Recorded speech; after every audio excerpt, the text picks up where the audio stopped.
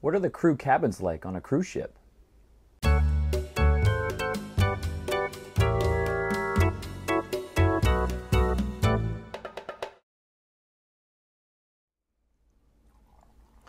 Depending on your job and your department is is what's going to determine your living quarters and how many uh, roommates you're going to have, or if you have a window, something like that.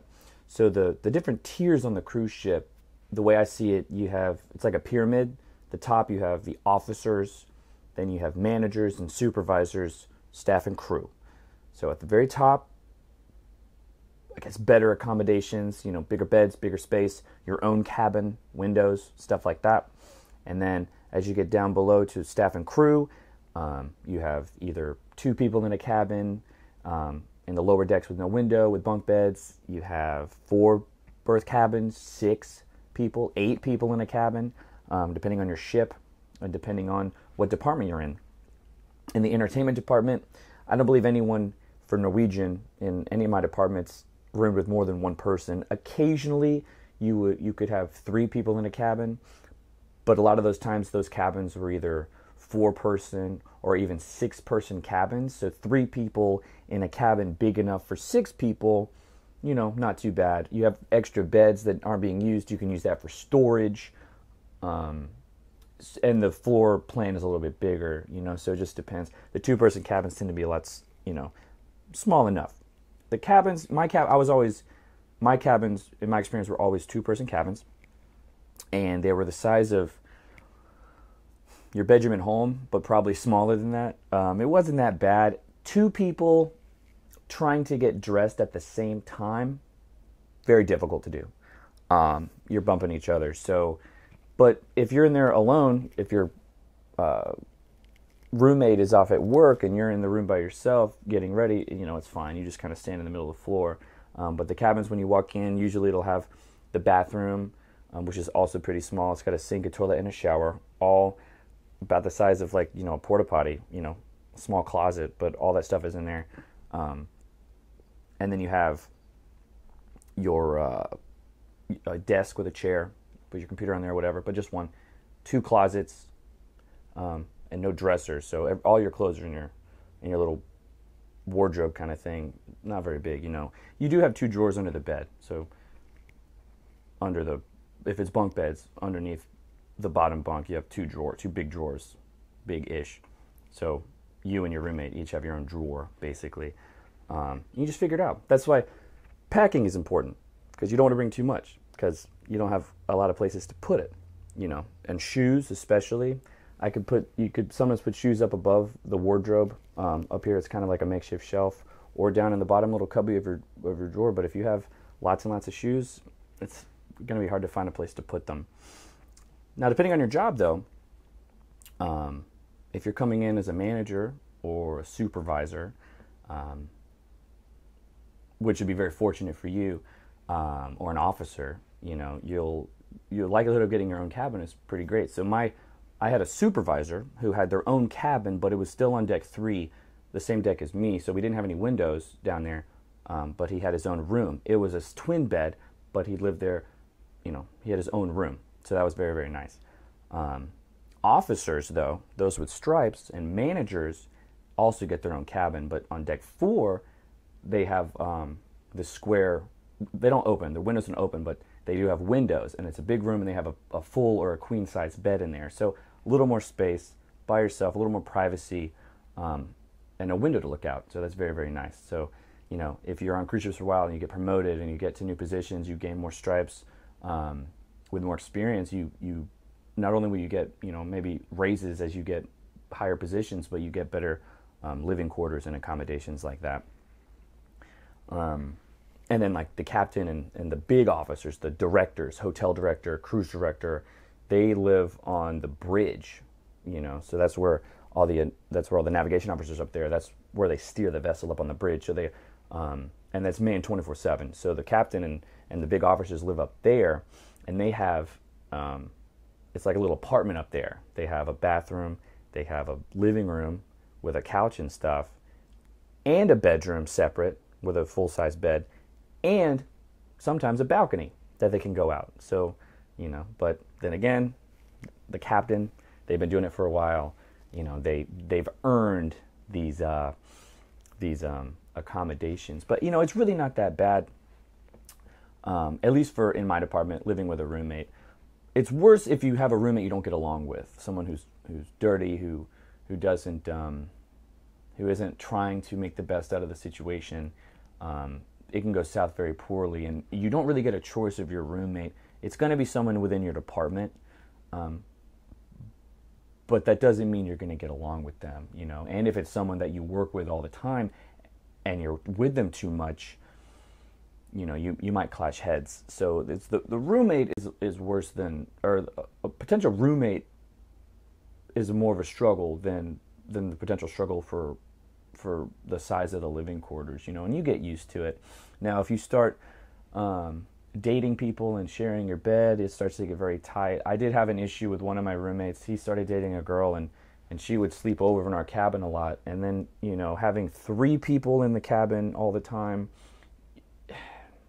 it's just there's not there's not enough space to host so many people, you know, and so you have to be open with your roommate. You have to have those discussions, you know. Can we have people over? Can we have people sleep over? You can't just assume your roommate's okay with it. It's it's it's your roommate, you know. You you have to work with each other. Um, and so sometimes you run into problems, but other times you have a great roommate. I've had great roommates that we get along great. I've had roommates where we have totally opposite schedules. So when I'm working, they're in the cabin by themselves, lots of privacy, having doing what they want to do, and then they're at work and I come in and they're gone, and you have lots and lots of privacy. Um, a great roommate situation. I've also had roommates that um, I, I lived with a musician once that didn't work nearly as much as I did, and he also didn't have much of a life. So when he wasn't playing music, he was in the cabin all the time, and and it, it did start to irk me because there was there's no really place for privacy on the cruise ship. And sometimes you come back to your cabin hoping that your roommate will be gone just so you can be alone for a little bit. And he was never gone ever. And it and it, it was just um it oh man it sometimes privacy is pretty crucial. That's what you know honestly and, and toward the end of my my contracts when i just when i was starting to think about uh, not doing ships anymore, I started like, you know, I wonder if I can pay money out of my. I wonder if I could take a pay cut just to get my own cabin. I wonder if I can, I can get a, uh, uh, if I can pay somebody just so I can have my own room, um, stuff like that. So I mean, it's not that bad. It's just you, sometimes you start really wanting that privacy. Now with Norwegian, we have the really big ships as well. So we have the smaller ships. I worked on some of the smaller ships, the Star, the Dawn, the Pearl, but we have the really big ships like the Epic um, and the Escape, and they're so big a lot of times they have um, they have enough real estate down down in the lower decks that crew members can actually have their own bedroom anyway or their own cabin anyway. So and I and how how those bigger ships are set up is you'll have two solo cabins connected by a shared bathroom. So you're still sharing the bathroom, but you have your own room. If they're small, teeny tiny, teeny tiny, enough for a bed, and that's about it. But after you start working on cruise ships and you see how little privacy there really is, um, and the lifestyle change that you're that you're going through to to when you're working there, you know, I would sleep. Sometimes you're like, I would sleep in a closet just to have some privacy, or or I would sleep in my office just to have some time time alone. You know, just just something, just to switch it up. So I think that that's a much better situation now depending on your job, it determines if you're going to have one roommate or four roommates or six roommates. Casino staff for Norwegian had four, sometimes six people in the same cabin. Um, restaurant staff could have six people in a cabin. Um, bartenders, you know, stuff like that. Just depending on the department and your contract when you get offered the position, um, they'll they should tell you kind of um, your kind of where, where you stand in in that realm and and the benefits that you're going to receive and, and what to expect. Um, so just beware. But and it's also you know if if you're going to move in with somebody or two people or ten people, you know it's never going to be ten. But if you're going to have roommates, you it's it's more important to to figure out how to live with people and not worry about the size of the cabin. Um, the little things that might start getting to you, like not having a window, like you'll start thinking about it. It'll be nice to have a window in here. Um, but I will say, when there's no windows and it's pitch black, going to sleep is, makes it pretty easy, and you sleep pretty deep. Um, the sway of the ocean put you rock you to sleep like a like a baby, and then pitch black, you get you get some good good sleep. You know, so uh, it's not all that bad. Um, and then if you when you start, you know, you might have one or two roommates, but if you keep it keep going it and you like the living at sea lifestyle, and you get promoted to a supervisor or a manager position, then you can then you're going to start getting uh, better benefits. You're going to get your own cabin. You're going to get um, maybe a window, um, among other things. So it's uh, it can definitely be great. It can definitely be um, it's an experience though. You know, if if you don't get along with people, if you absolutely cannot share with people, if you absolutely are 100% against bunk beds and being with a roommate in your room, like in a dorm in college, the only option you're going to have is to somehow get a manager supervisor position right off the bat, which is possible. Um, there's also different positions, um, like the port shopping consultant, which is a third party company, um, like a concessionaire, and they, they get their own room, but they don't work for NCL. They work for a different company that's comes on the ship. You see what I'm saying? So it just depends, you know. Or if you're a, an entertainer, and if you're a if you're a singer, you know, the singers in the production cast get their own cabin on deck four. They get their own officer's cabin um, with windows and big beds and their own bathroom and stuff.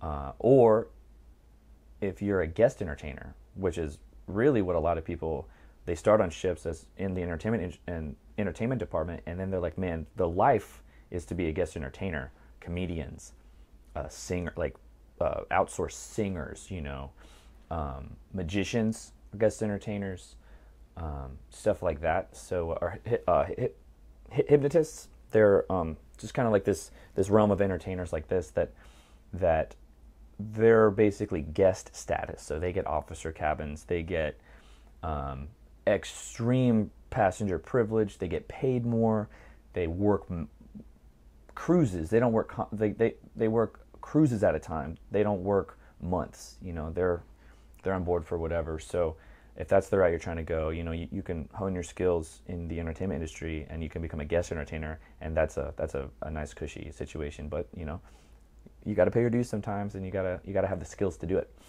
Um, for me, the the route would have been to to get into broadcast management, um, which for Norwegian Cruise Line is only on the really big ships. So you start as a broadcast technician, then you can go on the big ships and be a broadcast technician. Um, if you're in the cruise staff, you can start as cruise staff. You can be promoted into assistant cruise director, which is a, a, supervisor position. You get your own cabin, and then eventually cruise director. Or if you're a musician, you can start uh, in the band. You can become the band master. You become uh, the music director.